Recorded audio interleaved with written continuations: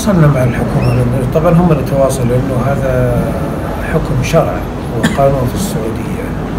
القاتل يقتل سواء كان سعودي أو أندونيسي وكثير من السعوديين تم إعدامهم لقتلهم أجنبي سواء أندونيسي أو غير أندونيسي كان في أندونيسيين سبق حصل لهم قتل في السعودية والقاتل السعودي تم تنفيذ حكم الإعدام فيه وهو سعودي.